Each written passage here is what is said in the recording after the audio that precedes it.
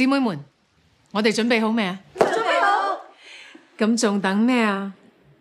除衫啦！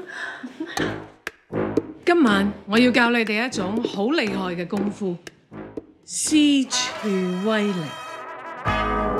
We're shooting scenes of um, her shooting out goldfishes. I tell you, man, it's like, you know, she'd come in and she already knew what she was after. 你哋全部同我走！全部同我企喺度。 Uh, Josie Ho is uh, the, one of the Golden Horse nominee. I was like, what? It was a real hassle for her to put on so many layers.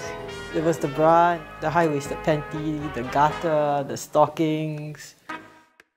When she had to go to the toilet and all that, we had to help her undress. Yeah. I take risks.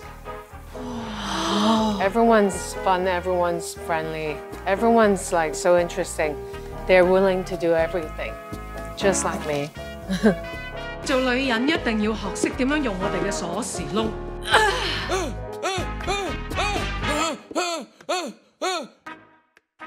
入边搞咩？